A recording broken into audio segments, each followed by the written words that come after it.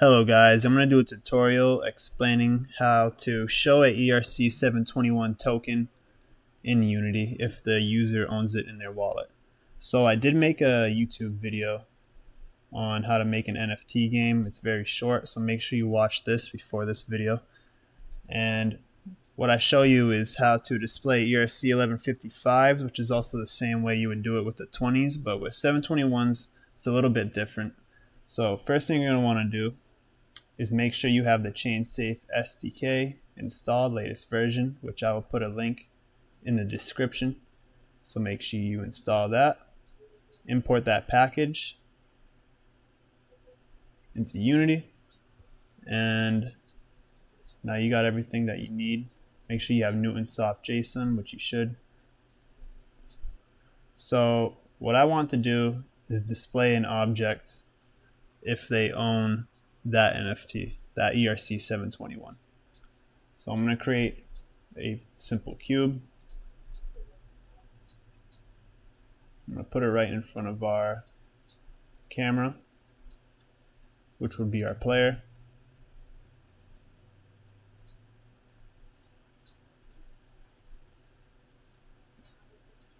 So I'm going to want to display this cube if we own the NFT.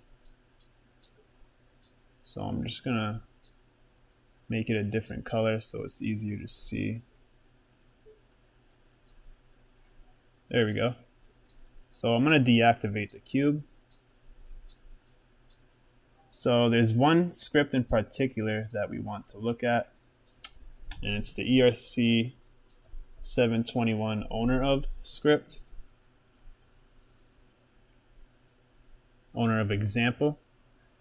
So I actually created my own script, just added a few lines off of this script here to make it do what I want it to. So this is the script that we need. I'm going to import the script that I created. And I'll show you the changes that I made, which is just a few simple changes. I created public variables, I mean a public string for my token ID and contract, so we could type that in into the inspector.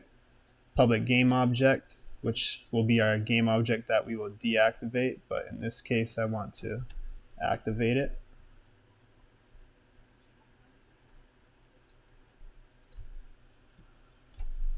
So everything else is the same. We're going to add our string account, player prefabs, get string, which will be our saved account. And then here, make sure you add that. I will also uh, provide this script into our comments down below. And then here, I added this. This is important. This will show the NFT if the user owns it inside their wallet, inside their account. So those are the only changes you have to make on this script. So save that. So you could drag this script anywhere.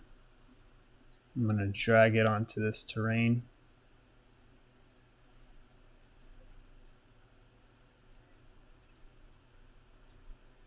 Oops, that's not the script.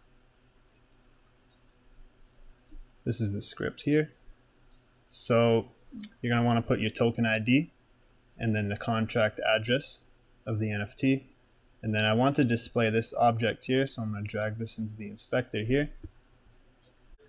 And then you're going to want to drag in one of the sample scenes from the package, which would either be wallet login or web login, depending on what you're using. If you're using desktop, use wallet. If it's for the web, use web login, which I'm going to use wallet login. So make sure that's the first scene of the game. So here's the NFT I own and want to display inside our game.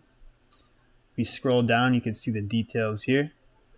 So this is our contract address and our token ID, which we need, and it's an ERC 721. You could also find the contract address and token ID up here as well. So make sure you put those credentials in, which I already have. So I actually meant to change this to true inside our script.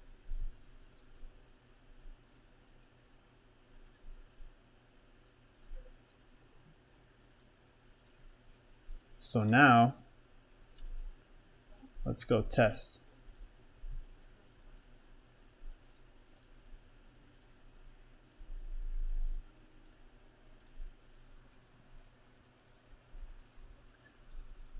So make sure you have MetaMask installed to your system. You're going to sign in. And then it'll bring you to the next scene and then boom. It now displays our cube, which would be our NFT that we own in our wallet. And if I don't own that NFT, then the cube won't be displayed. So there you have it. That's how you display 721s.